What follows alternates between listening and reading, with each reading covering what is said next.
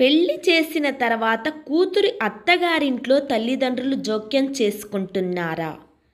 ఒక అమ్మాయి తన తల్లితో కలిసి భర్త మీద అత్తగారింటి వాళ్ళ మీద పోలీస్ కంప్లైంట్ ఇవ్వటానికి స్టేషన్కి వెళ్తుంది.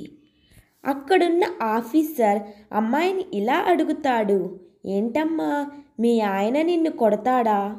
పుట్టింటి నుండి కట్న కానుకలు ఏమైనా తీసుకురమ్మని ఒత్తిడి చేస్తున్నారా?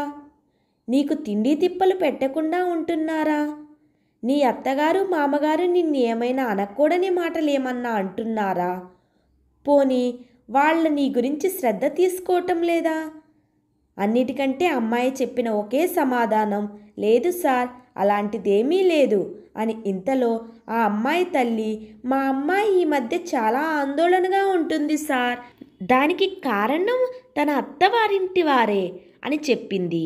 ఆఫీసర్కి విషయం మొత్తం అర్థమైంది. అమ్మాయి తల్లితో ఇలా అన్నాడు. ఏమ్మా మీరు ఇంట్లో పెరుగు తయారు చేస్తారా?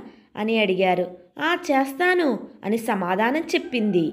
అప్పుడు ఆఫీసర్ మరి పాలు తోడు వేసిన తర్వాత పదే పదే వేలు పెట్టి పెరుగు తోడుకుందో లేదో చూస్తూ ఉంటారా? అని అడిగాడు. అదేంటండి? అలా పదే పదే వేలు పెట్టి చూస్తూ ఉంటే ఇంకా పెరుగు ఎప్పుడు తోడుకుంటుంది? ఆ పాలు కాస్త చెడిపోతాయి అని చెప్పింది. ఆఫీసర్ మరి చెల్లెమ్మ పెళ్ళి కాకముందు నీ కూతురు కూడా ఆ పాల లాంటిదే ఇప్పుడు ఆమె కూడా పెరుగులాగా మారాలి. ఈలోపు మీరు మాటి మాటికి వాళ్ళ అత్తింటి విషయాల్లో వేలు పెడుతూ ఉంటే ఇక మీ కూతురు ఎప్పుడు వాళ్ళతో కలిసిపోతుంది? ఈ విషయం మీరెందుకు అర్థం చేసుకోలేకపోతున్నారు? నీ కూతురు ఎలాంటి ఆపదలో లేదు. ఆమె ఆందోళన కారణం మీరు. ఆమె అత్తగారింటి విషయాల్లో మీరు జోక్యం చేసుకోవటమే. ఆమెకి తన అత్తగారింట్లో అన్నీ అర్థం చేసుకుని అడ్జస్ట్ అవ్వటానికి కొంత సమయం ఇవ్వండి అని మందలించారు. మిత్రులారా ఈ మాట కేవలం అమ్మాయి తల్లిదండ్రులకే కాదు అబ్బాయి తల్లిదండ్రుల కోసం కూడా మీ కొడుకు జీవితంలో కూడా మీ అతి జోక్యం పనికిరాదు. అతనికి కూడా భార్యను అర్థం చేసుకునే సమయాన్ని ఇవ్వండి.